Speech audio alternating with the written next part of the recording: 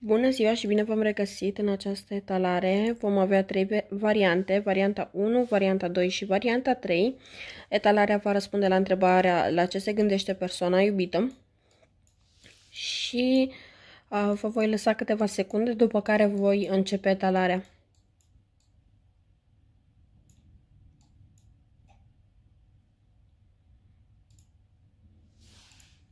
Și vom începe cu varianta numărul 1 și avem meriți iubire, ești iubibil, să zic așa.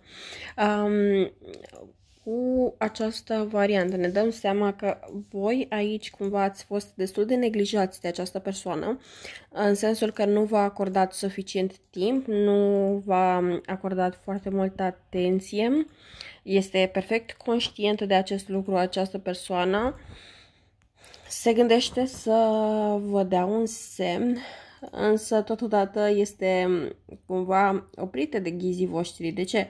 Pentru că această persoană nu este încă în măsură de a fi acolo pentru voi așa cum meritați.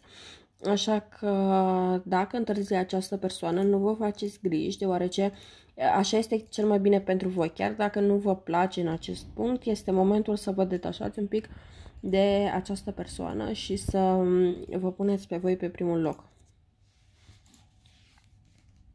Varianta a doua. Decepție. Cineva în această ecuație poartă o mască. În, um, aici putem spune că persoana la care voi vă gândiți se gândește că v-a mințit și are un sentiment de vină. Se gândește că nu trebuia să acționeze în felul în care a făcut-o, că trebuia să fie mai sincer și că trebuia să ca lucrurile să fi stat diferit.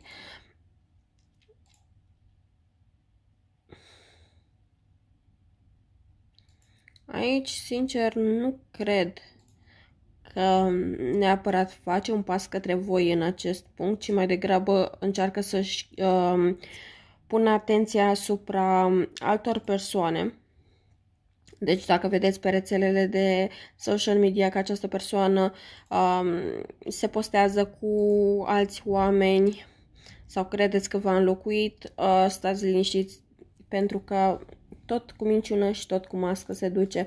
Nu schimbă nimic, rămâne în același tipar pentru o perioadă. Și varianta 3.